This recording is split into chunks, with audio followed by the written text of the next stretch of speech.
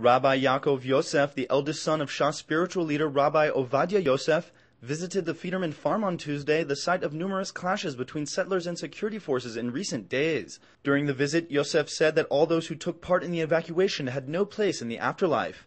Meanwhile, the daughter of assassinated Prime Minister Yitzhak Rabin warned on Tuesday, on the 13th anniversary of his murder, that extreme right violence is just as prevalent today as it was 13 years ago.